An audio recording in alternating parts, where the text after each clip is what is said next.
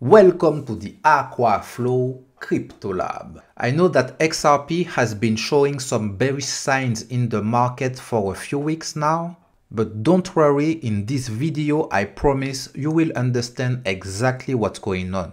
So we are going to start with the big picture chart then we are going to dive into the channel chart and in my opinion this is one of the most interesting charts in this video. Why? Because it should trigger the next bull run. Then we are going to talk about the moonshot chart and as you see a big event is coming. I will share an update of the XRP bull bear index. Also a quick update of the XRP buy sell indicator. And the last chart of the day will be the cloud chart. If you're new here, please consider subscribing to the channel. Now, let's begin.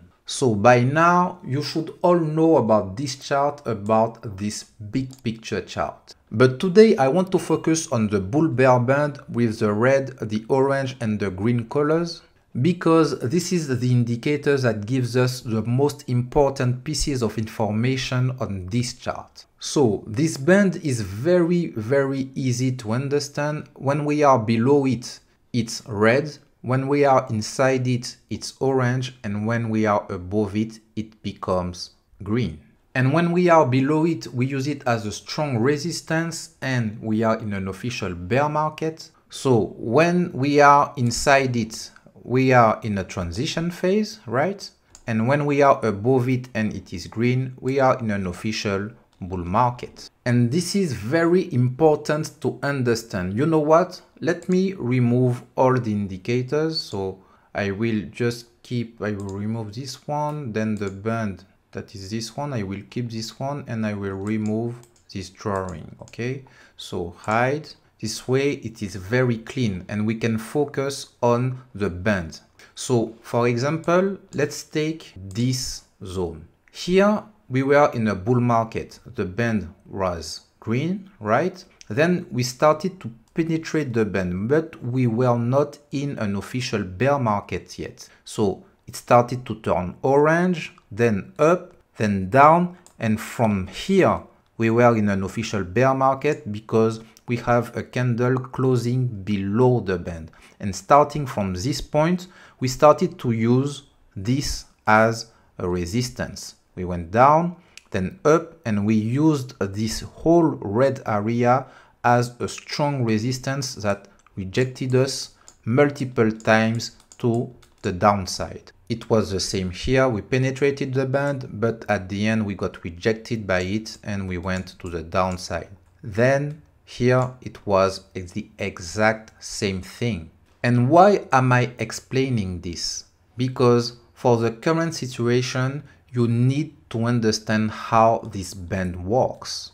And then it was with this green candle closing with this entire body, right? With the entire body of the candle above the band that we were officially in a bull market. And despite the fact that we went down, we kept on using this resistance, so this green area, as a support and we bounced from it. So indeed, it was very, very scary, but as you can see, we could trust the band and we moved up. Then in this bear market, it was the same. We penetrated the band and this candle was the first candle closing with the entire body of the candle below the band and from that point we started to use the band as a strong resistance again with multiple rejections to the downside and now you will understand finally my points here in this current scenario in the current situation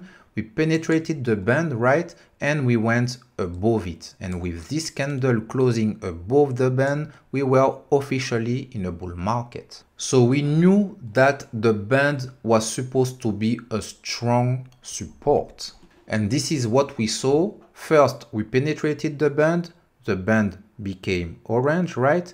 But we bounced from the band to the upside. Again, we went up, so this was very good, but we couldn't hold the level and we went down again and as you can see we are using again the band as a strong port And actually, this is the very first time that we are retesting the bottom of the band, as you can see, because since the breakout, we've been trending inside and above the band, but we never tested the bottom of the band, as you can see. And if we take a look at what happened in the past, here where we tested the bottom of the band with this candle, I can zoom in if you don't see it here, you see. So if I take this and you see we have a breakout, we went up, went down, we retested the bottom of the band. Then we went up and with the SEC sell-off again, we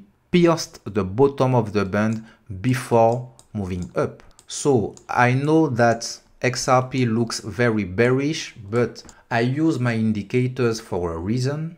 And I'm not going to lie, I'm very scared myself, but from what I can see, I can trust my indicators.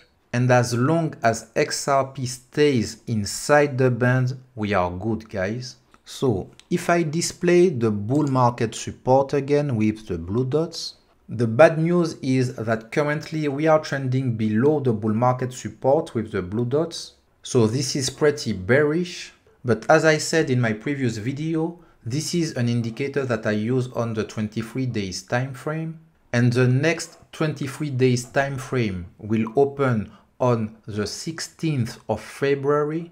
So we will need to see if XRP is still below or will go above it after this date. Just to let you know, currently the current price of the bottom of the bull bear band is around 49 cents, a bit above 49 cents. To sum it up, currently XRP is stuck between the bull market support with the blue dots and the bottom of the bull bear band. In order to stay bullish, XRP needs to bounce from this level after the retest of the bottom of the band. And by next week, I hope that XRP will be able to go above the bull market support again.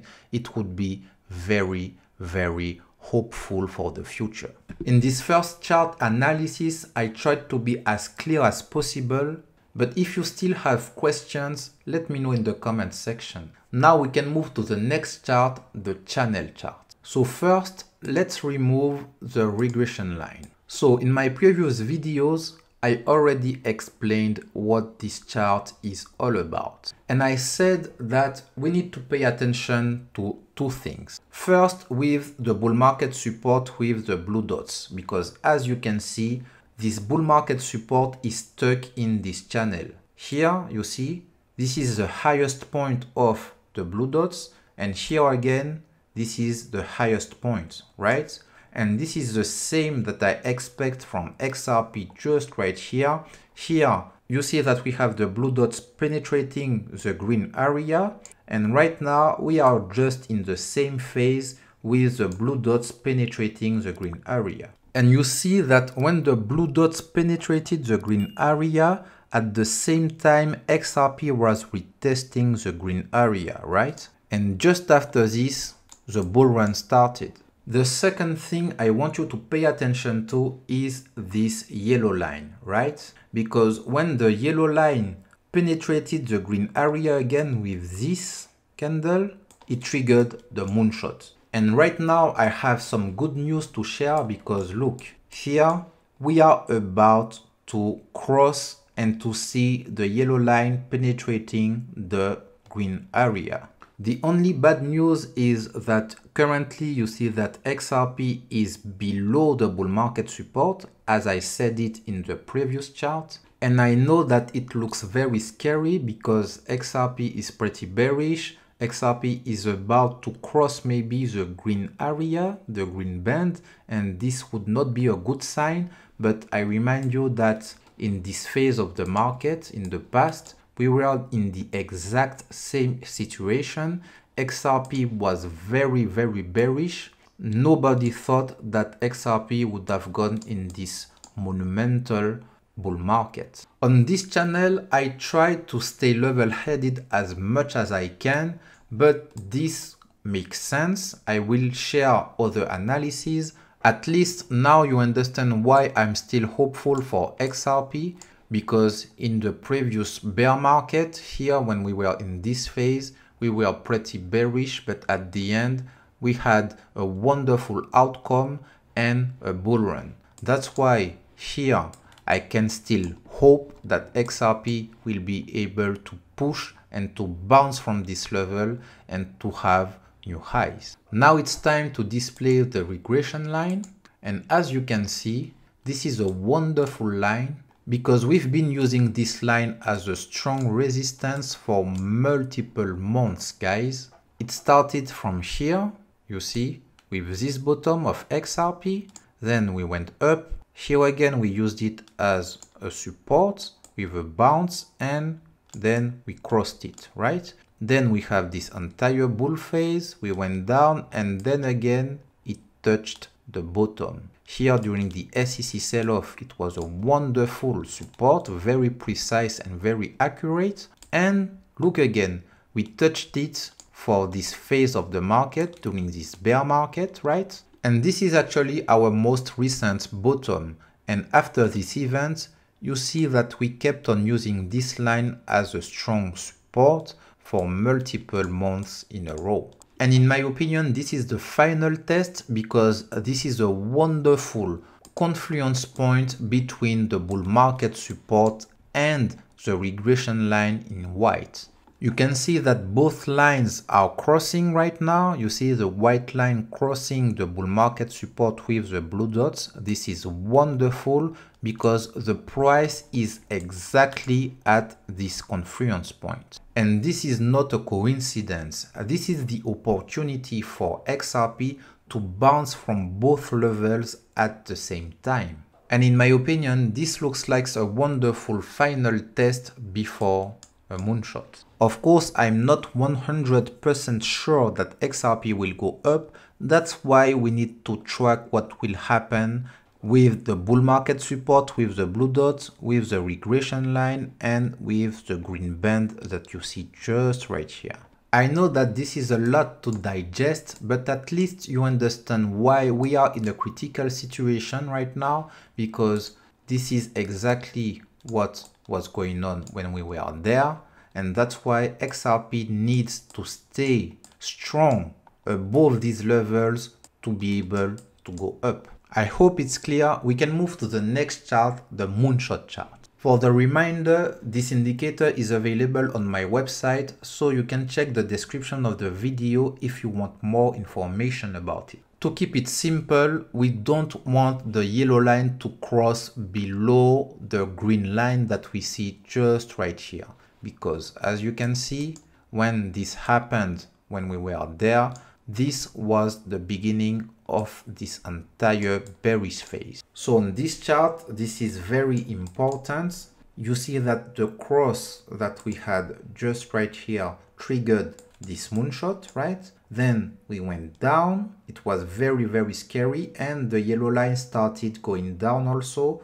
But at the end, the price went up to prevent the yellow line from crossing below the green line. And that's why if we want to stay in a bull market with this indicator, XRP needs to go up to prevent the cross again. So far, the area is still green and the yellow line is still above the green line, which is good. But if we want to stay in a bull market according to this indicator, we need to see the exact same thing that we saw just right here in this bearish phase we need the price to go up in the future weeks to prevent the cross from happening. It would not be the first time that it happens, so it's still possible. And so far, XRP didn't make a new low. What do I mean by that? As you can see, we have higher lows. We keep on making higher lows from XRP, meaning that we are still in an uptrend. So this chart confirms that currently we are in a critical phase because if XRP don't start going up in the future days and future weeks, we will have an issue. We will have a cross and it would be bad for XRP in my opinion, or at least according to this indicator. That's why we'll track on this channel what will happen with this indicator in the future days or weeks. Now we can move to the next chart, the bull bear index chart. This chart is very clean and straightforward. As you can see, we have the string line with the red dots and the green dots showing bullish phases and bearish phases of the market. And then we have the XRP bull bear index showing percentages of bearish signs, neutral signs and bullish signs. Currently, the situation is exactly the same as last week. I remind you that I use a 23 days time frame and as you can see, we've been trending below the string line for a long time now. Because last week it was already the case, we were below the line and that's why the line turned red, okay? So look, in the past, it was green during the bull market, then we crossed it and it turned red. And when it turned red, we stayed in a bear market for a long, long time, using the line as a strong resistance, right? Then it turned green, we used it as a support, and it was wonderful during this entire phase during this bull market. Then we crossed it again with this candle, it turned red, we knew that we were in a bear market and we went down with this low. Then we went up, resistance, cross, right, breakout, and we used it as a strong support for multiple weeks.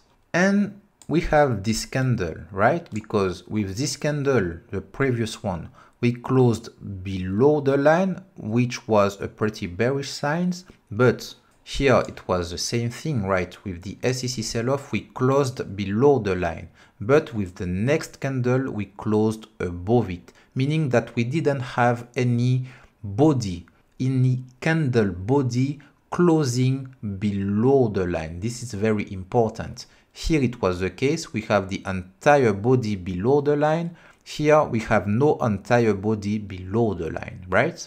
So here, if the candle closes below the line, we would have the entire body of the candle below the line. And that's why I think that this would be very bearish. As I said, the next 23 days candle will open the 16th of February so in order to stay bullish according to the string line indicator, XRP needs to go above the string line and to close above 54 cents. We'll know more next week. And also on the XRP bull bear index, nothing has changed as you can see because here we still have five red dots. This is a lot during a bull market. But to know the final percentages and the final colors, we need to wait for the close of the candle. And I hope, I really hope that by next week, XRP will be above the string line and this will turn white again. We can move to the next chart, the XRP buy sell indicator.